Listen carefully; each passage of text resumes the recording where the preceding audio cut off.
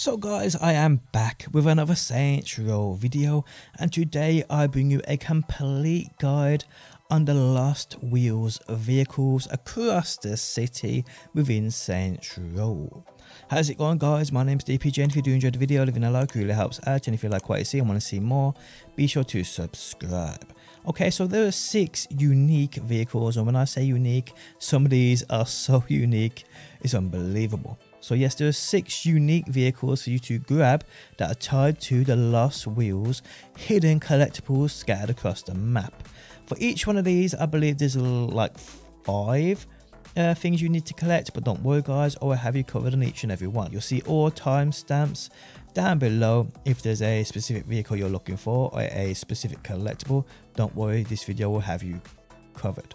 But guys, if you do enjoy the video, leaving a like really helps out. If you like what you see and want to see more Row, be sure to subscribe. And hopefully, guys, I will see you on that next one.